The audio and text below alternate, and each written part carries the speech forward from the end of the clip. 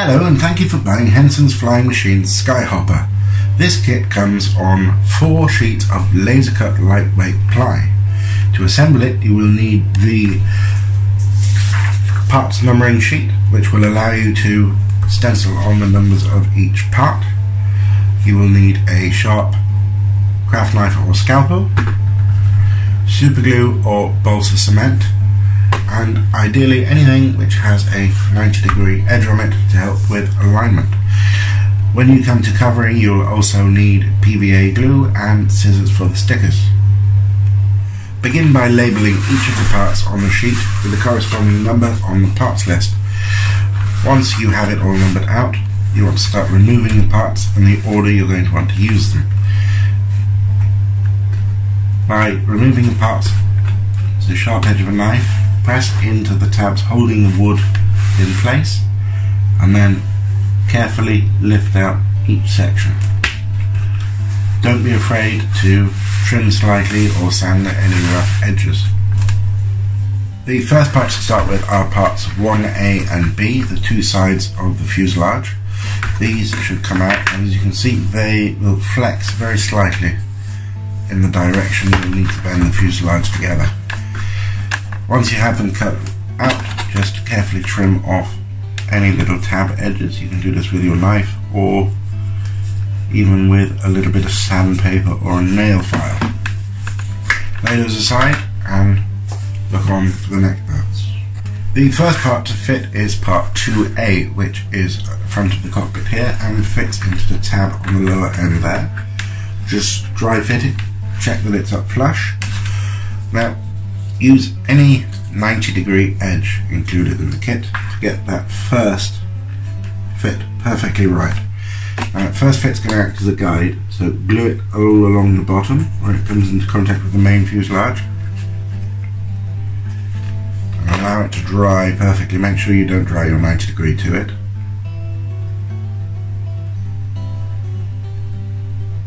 Just make sure you're happy with it. The next part of fit is part 3A, which is this little motor cutout. That slots forward of there, into the nose there, and butts up against it. Just align it again 90 degrees, this time upwards. If you're happy with it, glue to the fuselage side 1A and to 2A where it comes into contact there. That will guarantee you a perfect 90 degree on both of the sections fitting together nicely. If you need to double check, don't be afraid to. As these tab ends will fit into the tab ends on part 1B, the other side of the fuselage. Once that part is in place, you'll move on to the nose section, which is part 4A, which fits just into those front tabs there. Now, 4A doesn't quite come into contact with that lower part there, that's to give you a little more wiggle room. Now, tack that in with a little bit of glue into the slot in the nose, like so and again use a 90 degree to keep it positioned as you want. It to drive properly before moving on. The next part you want to fit is part 5A which forms the cross section of the rear cockpit. Fit that as you'll see here the tab is slightly off center you want to have it fit slightly further to the back like so. Place it in so that it clears this rear slot here use your 90 degree again to align and then glue where the cross section meets the wood. And that's going to form a guide between the two cross sections of the fuselage which hold the wings and tail in place. So let it glue thoroughly before moving on. Again, double check and double check that it is at 90 degrees. Once you have that in place, you need part 6A, which is the vertical wing support and cross section for the fuselage, which fits into this top slab here. Should slot in dead easy and butt up against part 5A. Now, as you'll see, part 5A will guide it on its way through the fuselage and through the tab. Make sure it's well down in that tab there and glue where it meets the wood and part 5A. Allow that to dry thoroughly before moving on because the tab does protrude. You don't want it to shift. Step is to fit part 7A which is the rear of the cockpit. Make sure that it fits into the tab at the bottom and butts up against part 5A. It should just slightly touch the back window there and where the slot for the wing trailing edge is. Be up firm then glue along the running edge. And glue it also to cross beam part there. Allow that to dry before moving on. The next major stage is to fit part 1b the opposite side of the fuselage. Now this is quite easy. Use the pieces already fitted as a guide. The tab holes should guide you through. Just gently press them in.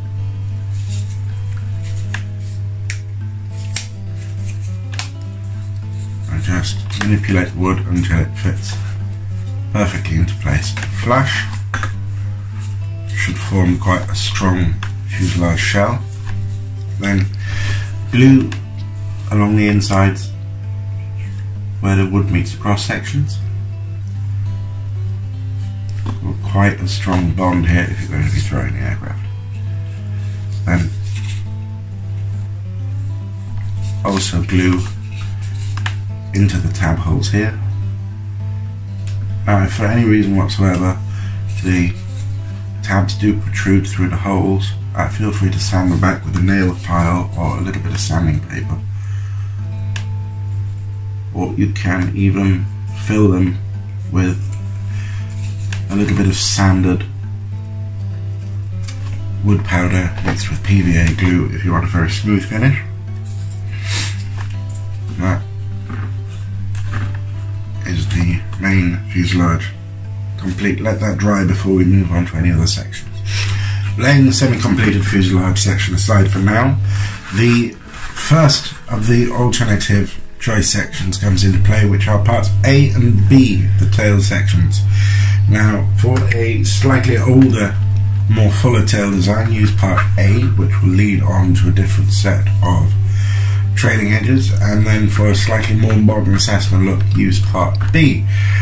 In this case, I'm going to go with part A for the look and a slightly fuller tail.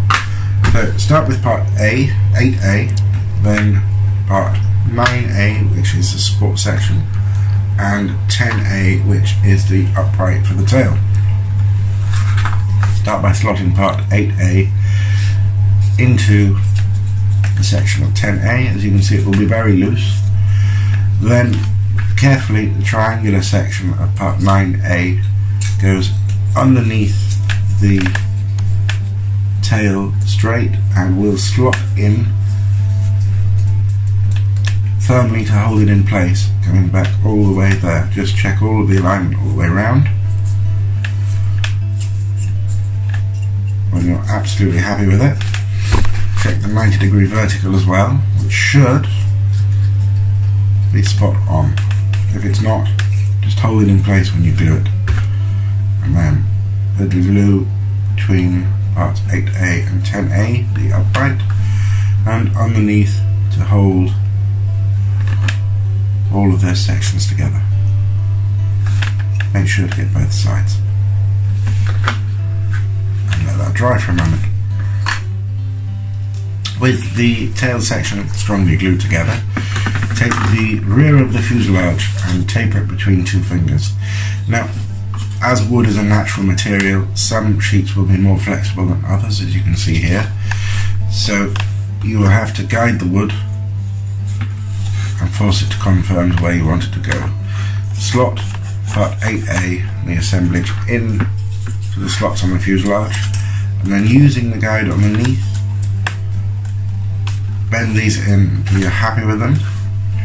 Now you want to get them fairly parallel. And just eyeball the fuselage until you're confident that it's straight.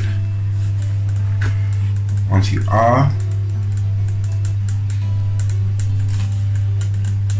glue these. They will feel like they're under some pressure. Careful not to snap them. Allow one side to glue fully and still holding it.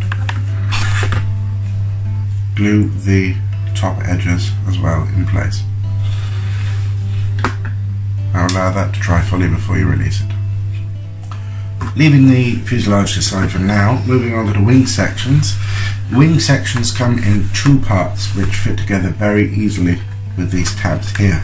The front edge is part 12A or B depending on which wing and the trailing edge is part 11A or B depending on each wing and the trailing edge comes complete with the aileron which can be cut out However, if you're just doing a display model or a free flight model, leave it in place and just glue along the edges so that it stays fixed.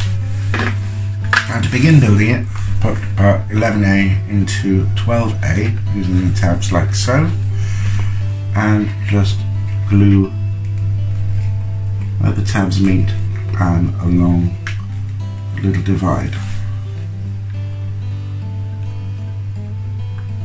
Like so. Also fixing your aileron in place if you desire. Now the rest of the wing section is made up of these wing profiles marked on the sheets. Start the wing profiles the more curved edge towards the front and when you place them in there is always a little bit of backwards and forwards movement to the nature of laser cutting so you need to align it all towards the front edge. So as you put it in, just push it forward and start from the outer edge where it butts up flush against that wing surface. Do a little bit at the front there, at the back, and where it meets the wood all the way along to make a very strong bond there. Just butt it up and allow it to dry. Then moving back to the inner edge of the wing. Again, align it forward.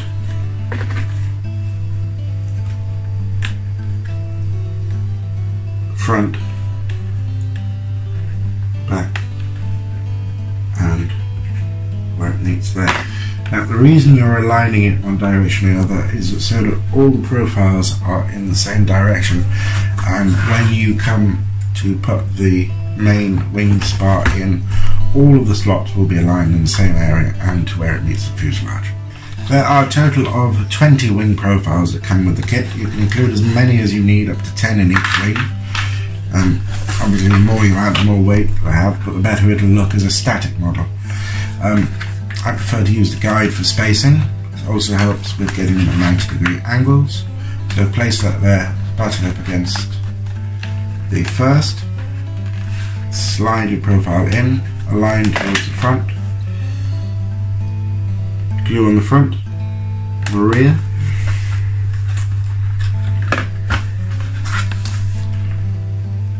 just double check if necessary, because any twists here will carry on throughout the build.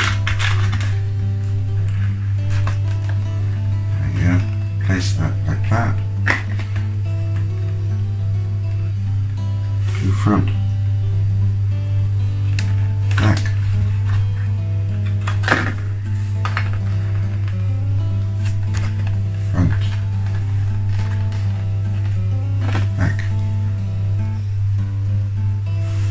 point here you can also glue to the aileron. if you wanted to make these ailerons movable at a later date, you can trim the profiles away here at an angle to allow movement and then fit a small paper or plastic hinge into the mix. same on all wing profiles overhanging that aileron.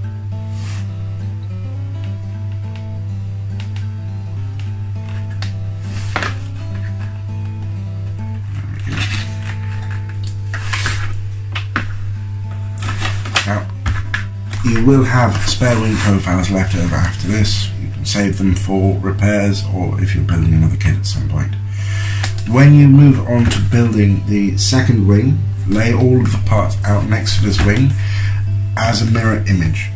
So build the wing up as a mirror image to the profile here, lay it all out flat like so.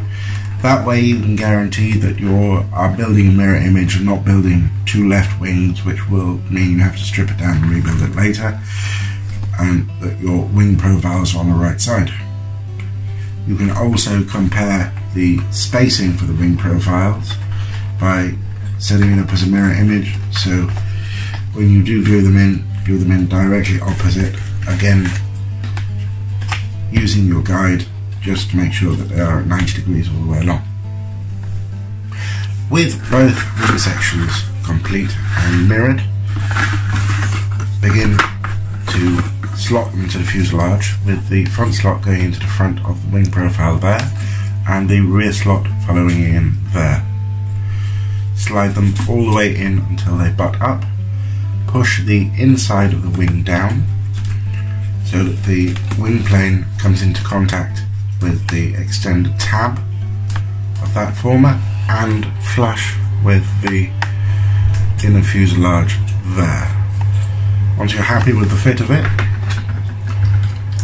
glue starting with the wing former tab here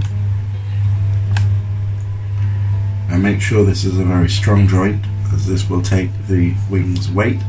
Glue all the way down here the inside of the former, making sure that it is buttoned up very tightly, and then turning over, glue the inner tab here to the cross section, like so, and on the inside of the wing.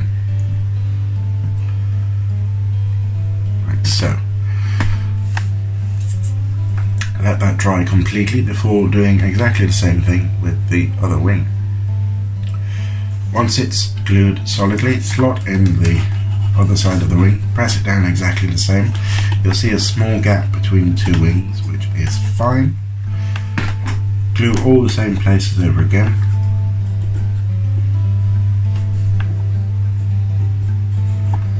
And wing former. Again, turning it over, making sure glue to the fuselage cross section and along the inside at the top of the cockpit. You can see that gives the wings the right angle which you will need. Now we'll add some strengthening once that has dried. To complete the wings you will need the long wing stringers 13A and B. These slot very simply into the top each of the profiles and butt up against the inside of the fuselage. Now begin by butting it up to the fuselage there and gluing it to the very top edge. Allow that to glue thoroughly. Get it in place, sitting in top of all of the profiles, then moving along, just push it down flush and dab uh, a little bit of glue on it there. And further along to get a nice finish. Now you can replace this with either a bamboo rod or a little bit of carbon 1mm rod.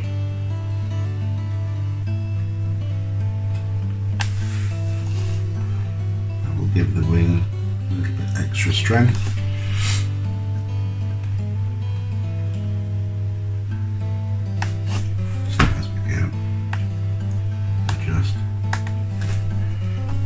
there, supporting it.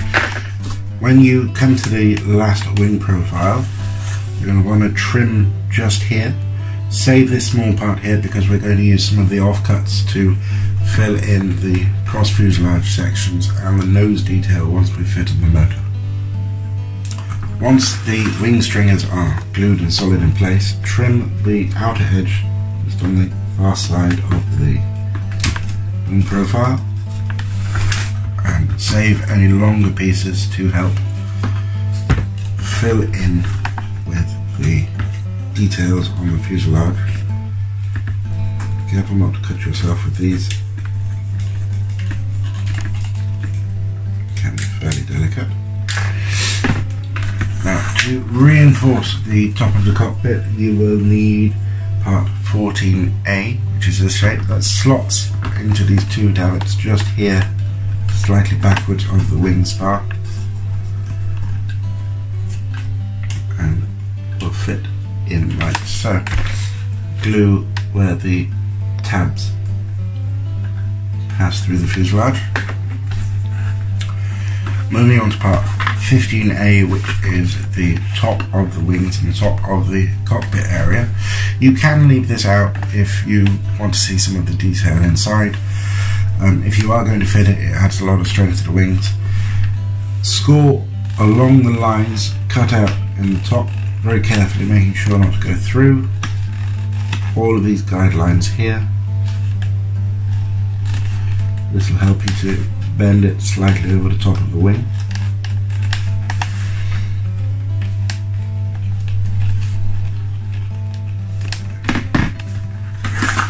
Taking the model, you want to align it across the top of the wing like so, bending back slowly between the two spars.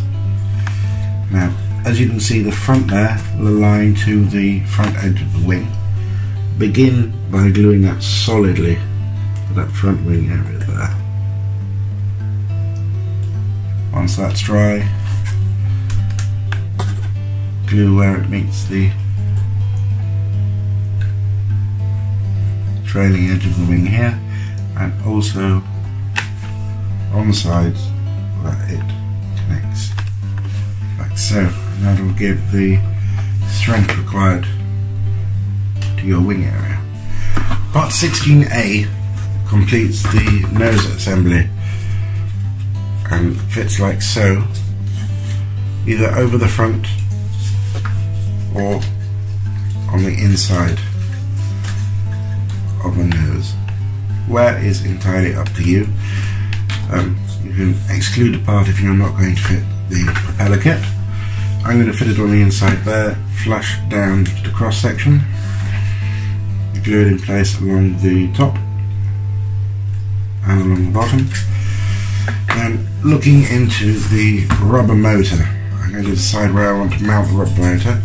I'm going to put my rubber motor directly behind the last cross section of the fuselage. For that I'm going to need one of the matchsticks which I'm going to measure.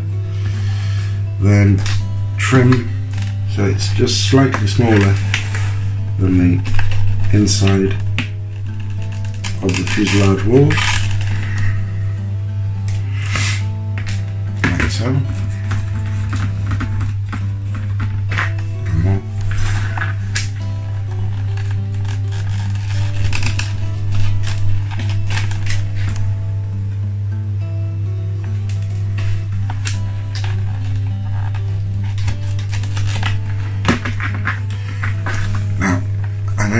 Rubber band over matchstick and slot it over the top of that part there and fall further through the fuselage until the matchstick is sitting like so behind there. Now touch of glue hold the matchstick in place careful not to get the glue on the rubber band allow the rubber band to pull through until you can see it exposed from the bottom.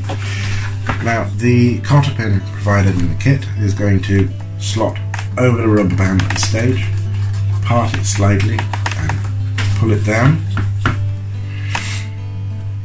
Then you need to go above the little motor mount there,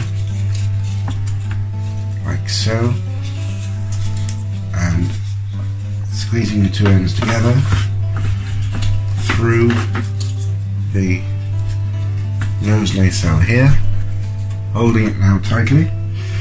Take the little 6mm bead, slot it over both ends of the cotter pin, pulling it tight, and then the propeller itself will go over both ends. Make sure that the notched end is outwards. Hold it from the inside. Pull it down firmly through. And then bend over both arms so that it will catch the propeller as it spins. As you can see, the propeller will sit inside. You can align it on the matchstick towards the center.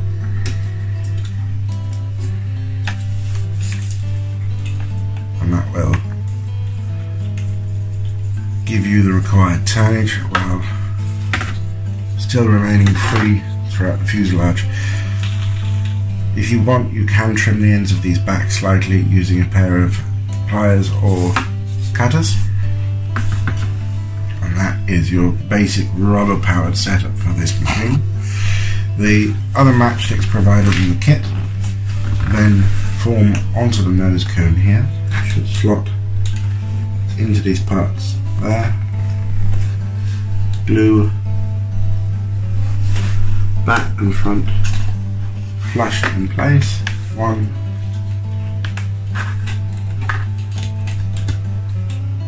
two,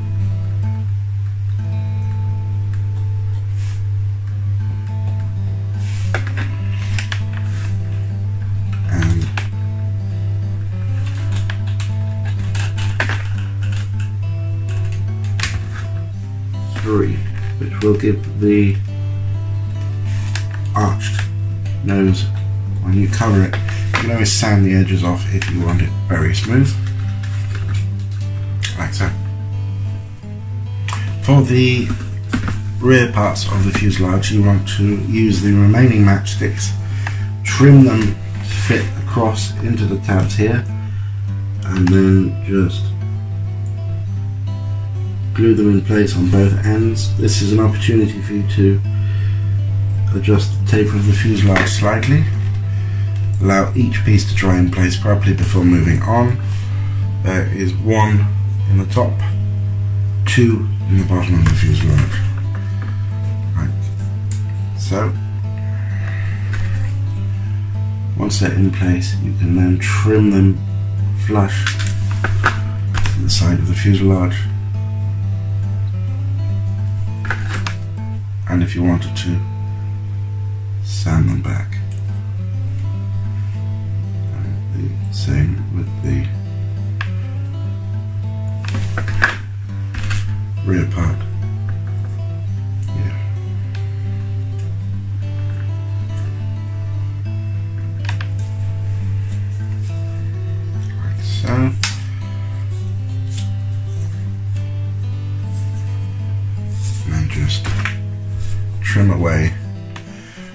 Moving on to complete the tail surfaces, we have the control surfaces. There are two totally different options for this depending on the final look you're going for. Parts 18A, B and C. B and C being the flaps and A being the vertical rudder. In exactly the same way, parts 19A, B and C form the same parts. Now the 19 parts are larger and give it a more old school controllable effect. In this case I'm going to go with parts 19 and fit them now. You can of course fit them with small paper hinges. However I'm going to simply glue them in place as is going to be a straight model. Uh, I'm going to start with part 19A which is the rudder gluing along the surface it's going to glue to and then just holding it in place where I actually want it. You can see this is quite a large rudder, gives it a lot of surface area and it gives it that classic 1960s look. Now once I'm happy with that and it's settled, I'm going to move on to the tail flaps like so. You can angle these if you want give it a different appearance or a different light characteristic. Glue along the connecting edge and along the outside of the inner edge and then simply slot into place. I'm going to angle them slightly upwards, like so. With the tail rudder and flaps in place, check that they're all securely fixed before moving on. Turning the machine upside down, we have another optional part, which is part 17A, a cover for the bottom of the fuselage. Now this adds a great deal of strength, but also extra weight. Um, you can place this wherever you like. I prefer to fit it just here on the rear of there, gluing it in place first.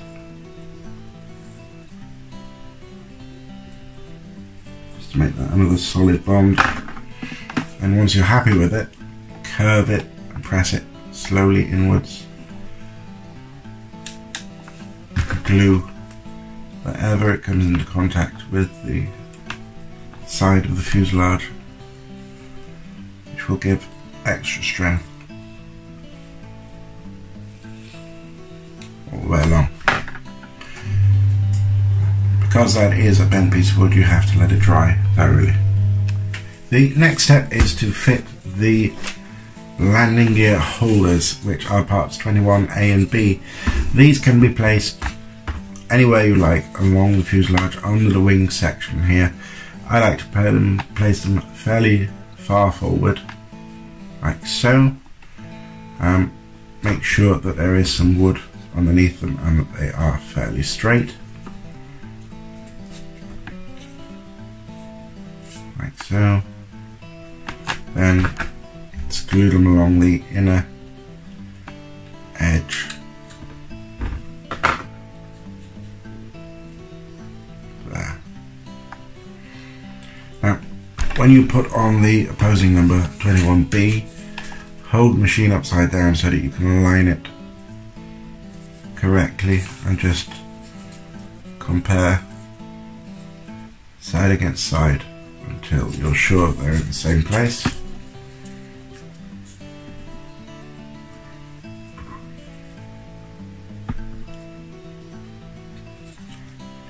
And glue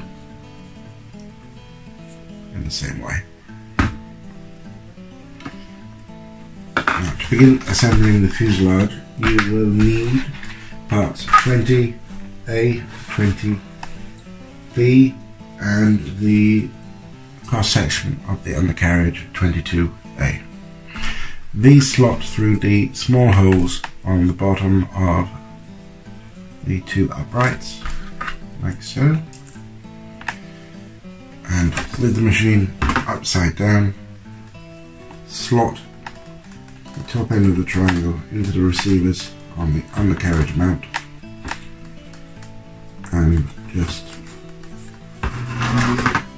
eyeball it flat make sure that they are settled either to the front or the rear of those receivers like so